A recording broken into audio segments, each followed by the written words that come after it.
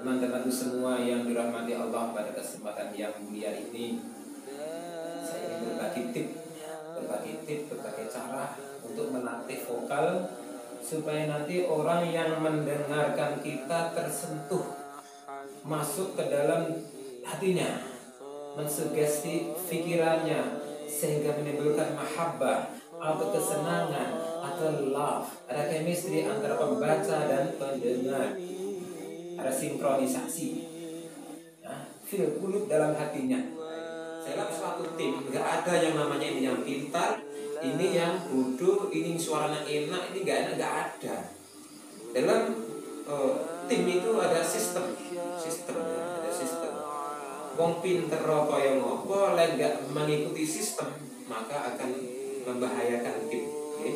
akan membahayakan tim ingat itu kita yang cerdas. Tapi kekompakan yang kita butuhkan untuk menghasilkan formula yang terbaik sehingga bisa orang lain yang mendengarkan akan menimbulkan mahabbah kecintaan terhadap apa yang kita suarakan terhadap apa yang keluar dari mulut-mulut kita yang keluar dari cocok-cocok kita. Jangan sampai orang lain yang mendengar kita akhirnya merasa kayak curhatan kayak sedih. Dan ada sesuatu kita undangan kita tampil di satu panggung jangan kemari temannya jangan oh Oh, jangan.